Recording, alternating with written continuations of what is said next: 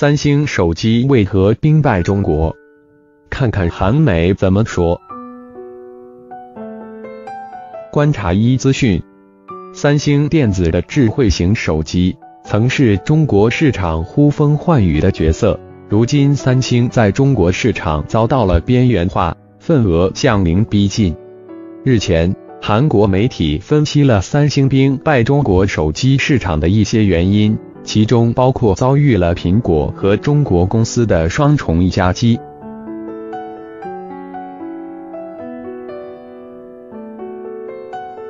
据韩国中央日报英文版网站日前报道称，三星手机在中国的份额持续滑落。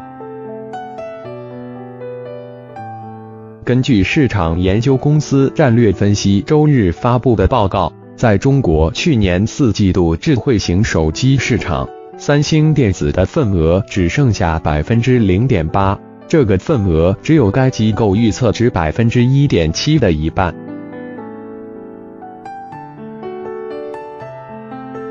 如果按照二零一七年全年计算，三星手机在中国的份额从上一年的百分之二点四下降到了百分之二点一。名次跌落到了第九名。对于三星电子而言，中国手机市场颇为艰难。该公司遭遇了夹心饼钱危机，被夹在了美国苹果和中国手机厂商之间。苹果在高端手机领域具有优势，而在中低端手机方面，中国品牌的竞争力很强。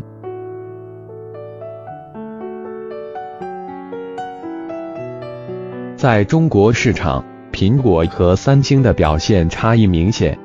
去年四季度，苹果在中国手机市场的份额重新回到了两位数，为百分之十一点五。这也是二零一六年一季度之后，苹果重新返回两位数份额。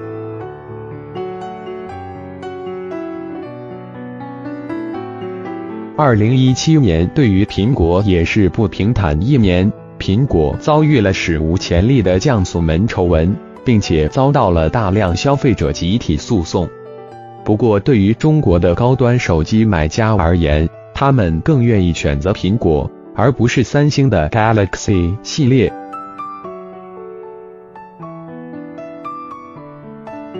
在家乡市场，中国手机依靠性价比攫取了市场份额。在去年四季度。中国份额最高的前十名手机厂商中，除了第五名苹果之外，其他全部是中国品牌。在印度市场，三星过去一直是行业老大，但是在四季度，小米公司超过了三星，夺走了第一名的宝座。小米的份额上涨到了百分之二十六点二。三星跌落至百分之二十三点九，这也是三星六年来第一次排名第二。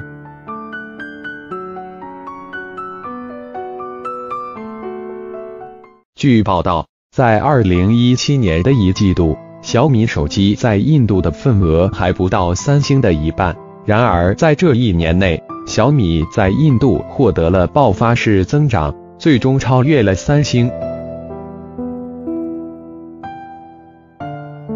从全球范围来看，三星电子仍然是全球排名第一的手机制造商。但是在全世界最大和第二大的手机市场中国、印度，三星遭遇了困难。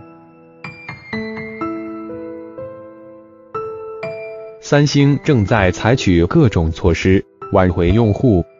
去年底，三星在 Galaxy S 系列手机中推出了中文版的语音助手 Bixby。中文成为韩文和英文之后，Bixby 支持的第三种语言。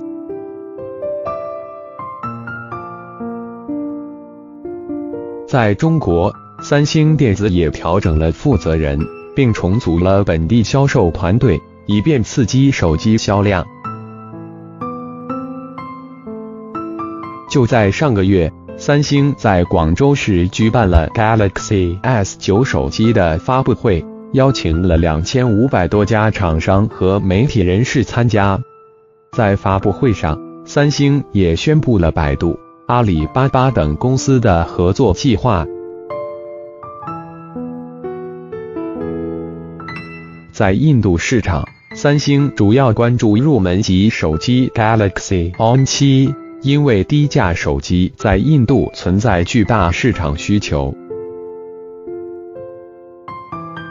三星电子的一名发言人表示，在中国和印度市场，三星 Galaxy S9 获得了良好的市场反馈。三星预测一季度的市场份额会反弹。在手机市场，三星电子计划采取双管齐下的策略。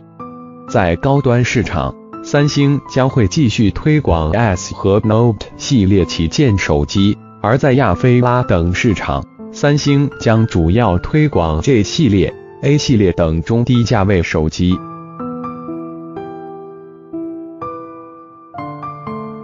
一些行业观察人士指出，三星智慧型手机业务的未来取决于其折叠手机项目的发展。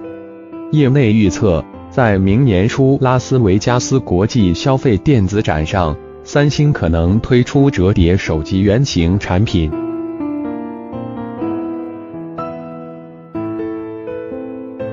韩国一位学者表示，三星电子如果要在手机市场存活下去，则必须对各个市场进行定制设计，另外也要在手机硬体领域进一步创新。KS、Facebook、Facebook Messenger、WhatsApp、WeChat、Line、SNS、G7 开城互掐大会，马克龙放狠话，默克尔泼冷水，特朗普我先走了。俄罗斯向中国空运现钞加速去美元，这些农民或正闷声发大财。美国之后，TPP 再遭一击。马来西亚也要退群，印度央行行长，美国适当的该停停了，多个国家快要应付不来了。华尔街怒赞，蚂蚁金服估值远超高盛。外媒，十年前难以想象，即是中国队没去，中国人依旧承包了整个俄罗斯世界杯。西门子 CEO。“一带一路”倡议能改善全球百分之七十人口的生活。掀起全球化，西梅城最大受益者就是已开发国家。